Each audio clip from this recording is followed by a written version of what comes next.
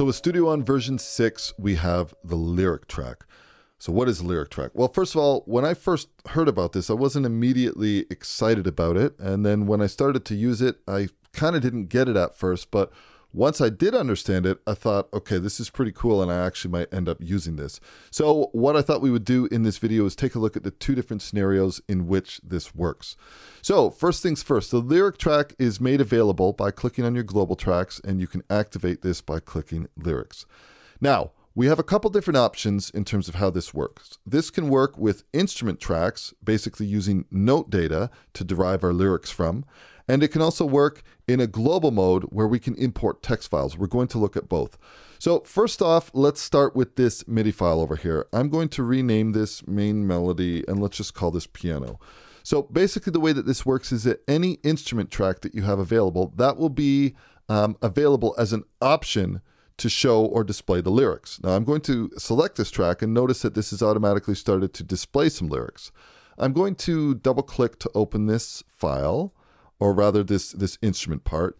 And notice that we have this new lane within our editor. We have our velocity, note controller, sound variations, everything that we're used to, but we have lyrics. And the way that this works is that any note data that we create, it automatically creates um, a event of equal length where we have the ability to enter some lyric data. So I could say like blah, and that that blah is now associated to this note.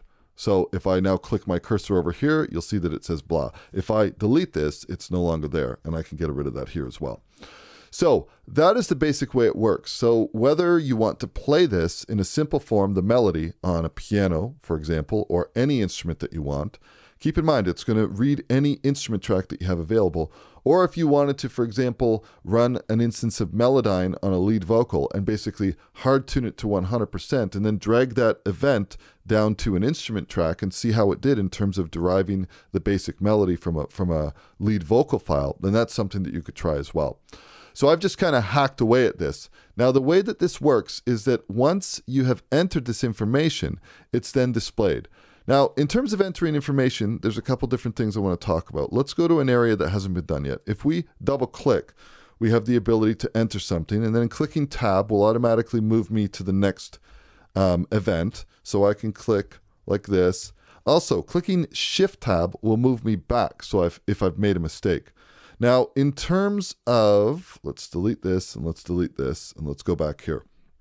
In terms of if you have one word that's spread across two syllables, and that becomes gets spread across two different words. Like for example here. Lady.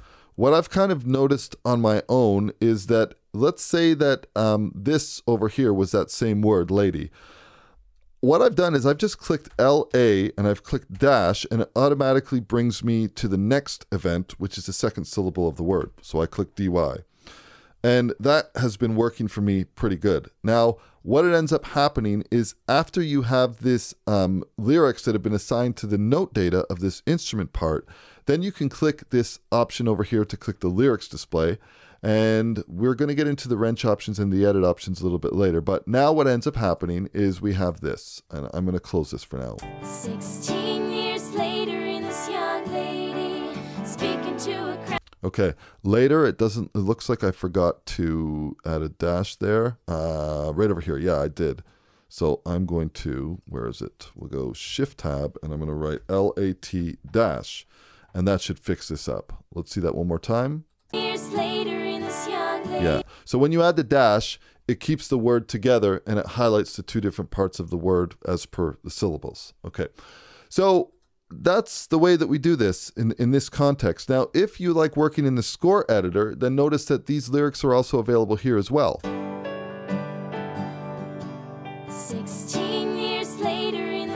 And of course, this could be something that you put on an external monitor and give to an artist, or it could be something that you basically create a digital copy of this lead sheet for them, and it's something that they can you know, put in a document or even print out or whatever the case is. Essentially, whatever you need it to be. And while we're on the score page, keep in mind that we also have this new lyric uh, tool over here where we can basically make adjustments to these different areas and I can directly add lyrics in for these events that don't have anything. Or if you had anything that was spelt incorrectly, then you could fix that. So let's go back to here just for a quick moment and make sure that I covered everything that needs to be covered here. Yep, so it looks like we're good there. So I think this is cool, and for some people, uh, they might definitely want to use this with their instrument tracks, and especially if they're using the score editor. But for me, the real kind of power in this lies with the global part and importing text files. Now, when I work with lead vocals, let me get rid of this for now. When I work with lead vocals, typically I don't record my lead vocal necessarily on one full track. I might have my lead verses on one track and my lead choruses and my lead bridge on another because I'm treating them differently. But what we do see is we see a waveform overview display that has all of our lead vocals across it, and we have an indication in terms of timing. Now, the way that the lyric track works with respect to the global track and importing text files is I have a text file over here where I've just basically typed out the lyrics here. And the way that this wants to work is it's going to see one line of text and those can all be snapped and aligned to individual bars. So I've typed this in one line at a time, just exactly as I've heard it. I want to make mention of one fact though before we go on. Um, I'm going to open up a new text document and let's go edit, paste, and match style. So the way I'm on a Mac OS and the way that it works with TextEdit, for example, is that it creates this type of file. Now, the way that, that I needed to format my text file in order for it to be seen in my browser is I needed to go to format and I needed to make plain text. Now, the minute I did that, if I close this, we'll be able to see, it gave me this extension, which is .txt, and it's using Unicode UTF-8. I'm not sure what the PC equivalent of that is, but I think as long as you have something that's a .txt extension, then you're good. And the way that I can do that in an easy way in Mac OS in Mac OS is simply by clicking that Make Plain Text. Now, once that's been saved, you see that it's available in the browser. At this point, we just open up the lyric track. I can actually click, hold, and drag this directly into my lyric track. And as you can see, it actually is showing the, the actual notes line by line. Now, PreSonus have included a really useful macro that allows you to auto map this on the fly. And the way that you need to do this is you need to make sure that your text edit file is dropped later in time than from when your vocals start. So let's give ourselves some breathing room. I'm going to drop this at bar five, even though I need it to start here. Now, they have a macro that runs and it's got a key command that's been assigned, which is option return or alt return on a PC. So option return Mac, alt return on a PC what you need to do for this macro to work is you first need to select the very first event, because keep in mind, these are events that have text linked to them. And then I'm simply going to place my cursor earlier in time. Now I'm going to let this song play in real time, and I'm going to fire off the option return, because I'm on a Mac, and you'll see these individual events start snapping. So let's go ahead and do this. First one.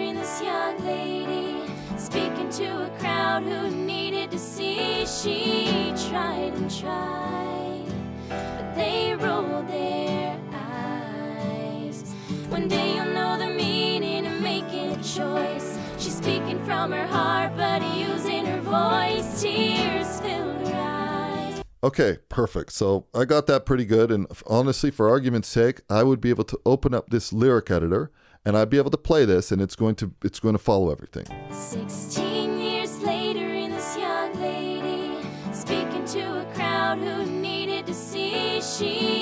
Okay, so you can see that that's good there. A couple options here, we're going to get into those in a moment. But the other thing I want to point out is if you didn't get it perfect, that's not a big deal because you can actually click hold these events and you can drag them and they're snapping to basically quarter note boundaries over here. So if I wanted this to be absolutely perfect, I could go in, this one maybe is a little bit early. Let's let's go to here. This one looks good.